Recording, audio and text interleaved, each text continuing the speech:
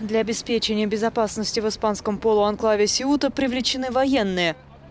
Накануне всего за один день 6 тысяч мигрантов вплавь или на надувных лодках проникли на территорию города, расположенного на северном побережье Африки, из Марокко. Как минимум полторы тысячи из них несовершеннолетние.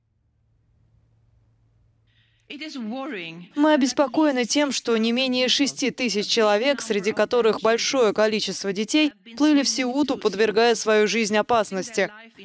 Многих пришлось спасать. Один человек погиб.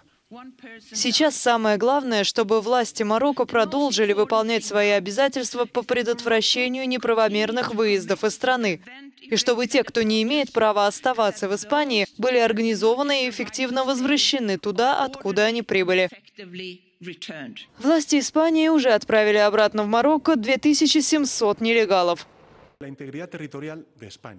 Правительство намерено защищать территориальную целостность Испании, ее границы, одновременно внешние границы Европейского Союза и, главным образом, безопасность наших соотечественников, их спокойствие в любое время, вне зависимости от характера угрозы, всеми имеющимися средствами, совместно с нашими европейскими партнерами.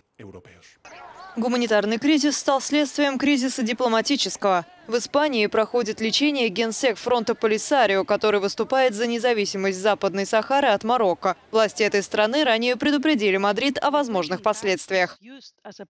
Это шантаж. Мигрантский вопрос используется как способ давления на государство-член ЕС, на Испанию. Испанское правительство зависит от марокканского. Одно оно не сможет остановить нелегальные переходы границы.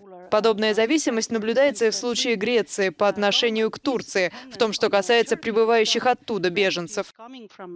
Для многих мигрантов с африканского континента испанские города Сеута и Мерилья – не что иное, как врата в Европу. В прошлом году сюда, несмотря на риски для жизни, прибыли более двух тысяч человек. Годом ранее – почти восемь тысяч.